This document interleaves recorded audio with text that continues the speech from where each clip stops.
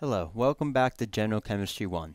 My name is Dan, and today we're going to be looking at trends on the periodic table. So there's a number of properties of the different elements, and the periodic table is organized in such a way that allows us to pretty easily quantify the relationships between one side of the table and the other side of the table, between metals and nonmetals, so on and so forth. We're going to start though by looking at what's called the Aufbau principle.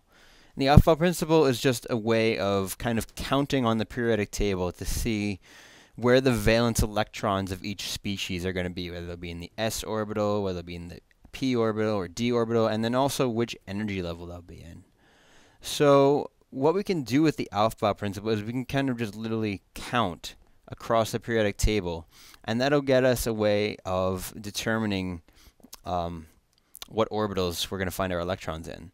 So for example here, on the left side we have our s orbital species, we have our d orbital species in the middle, the transition metals, and we have our p orbital species on the right side with our nonmetals.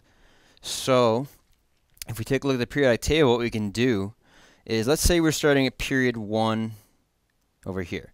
So hydrogen is going to have 1s1 on the right side, we're going to have 1s2.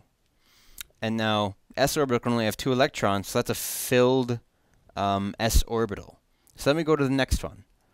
This one's going to be at lithium here is period 2. So we're going to have 2s1, 2s2 for lithium and beryllium. Then we get into the p orbitals. So we'd have 2p1, 2p2, 2p3, 2p4, 2p5, 2p6. So we've gotten up to neon, we've counted everything. So what we could say neon's elect valent what we could say neon's electronic structure is is going to be 1s2, 2s2, 2 oops, 2p6. And that's its full one if we wanted to look at just the valence electrons, we would go to the previous noble gas and write that from there. So the previous noble gas is helium up here. So what we can write is we can write neon is also equal to just the helium and then 2s2, 2p6. Writing this helium implies everything comes before it, like up to the structure of helium. And so everything in the highest energy level, this quantum principal quantum number of 2, is going to be our valence electrons. Over here with helium, those are what are called our core electrons. Okay, valence electrons are what we're usually going to be looking at because they're the ones that influence the properties of each atom. But let's continue counting. Okay, so over here we'd have, with sodium, 3s1, 3s2. Over here with aluminum, we'd have 3p1, 3p2, 3p3, 3p4, 3p5, and 3p6. So argon has uh, up to three, everything up to 3p6. Now for the fourth period, we have 4s1, 4s2 once again, but now we're getting into what's called the D block. So here we're going to have 3d1. Note that it's 3 because that's the first d orbital. 3, 3d is the first set of 3d orbitals. Same thing would happen for the lanthanides down here. The first one here is 4f. So we have 3d1, 3d2, 3d3, 3d4, 3d5, and so on and so forth. Down here, once we get to the lanthanides, we'd have, this is group 6, 6s1, 6s2. We'd go down here. We have 4f1, 4f2, and so on and so forth up to 14. So you see, it's just a very simple and straightforward kind of counting method going on. So let's say then we wanted to do um, I don't know. Let's look at titanium over here.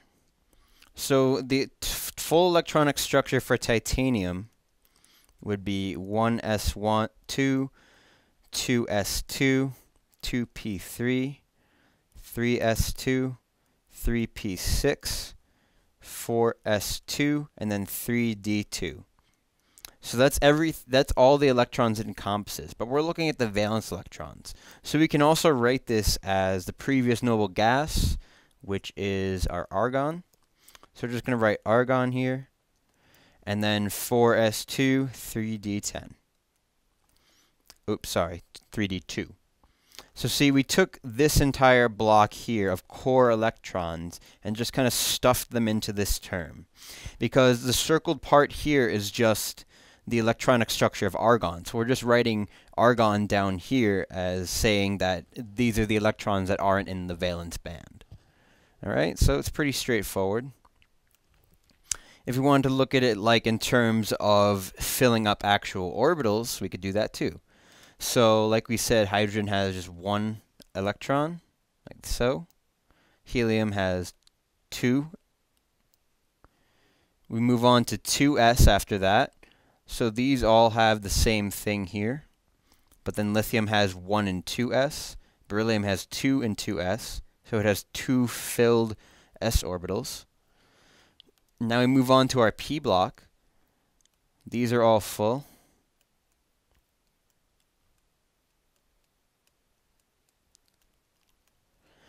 And now the way we're going to start filling out the p block in terms of orbital diagrams is we're going to put one electron in each orbital first.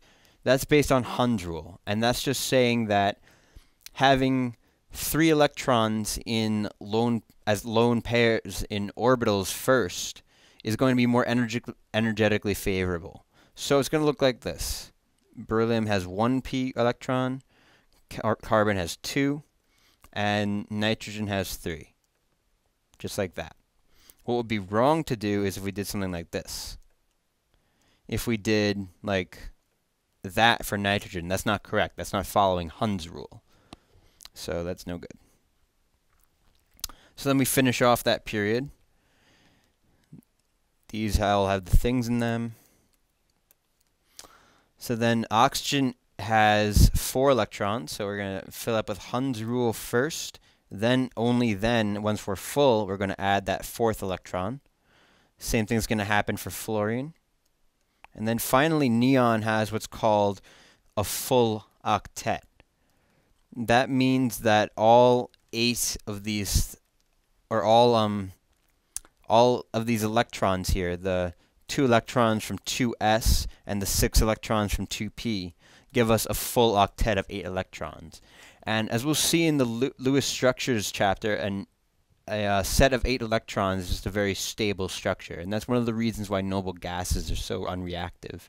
And also why the halides like to form negative one ions, because then they have an extra electron and they have, instead of seven, they have eight valence electrons.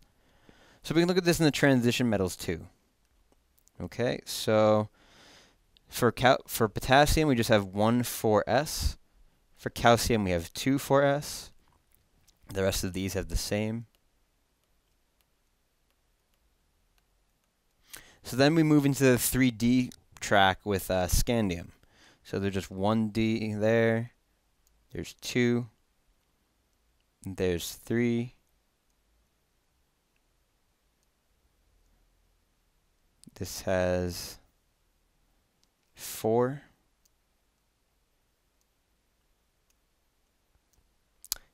Now, there's a reason why this is highlighted red. What I just did is actually incorrect. One of the exception, there's some exceptions when doing the Aufbau principle when we're counting these electrons, and chromium is one of those atoms. So if you look, with the current structure of chromium, we have one d orbital unfilled.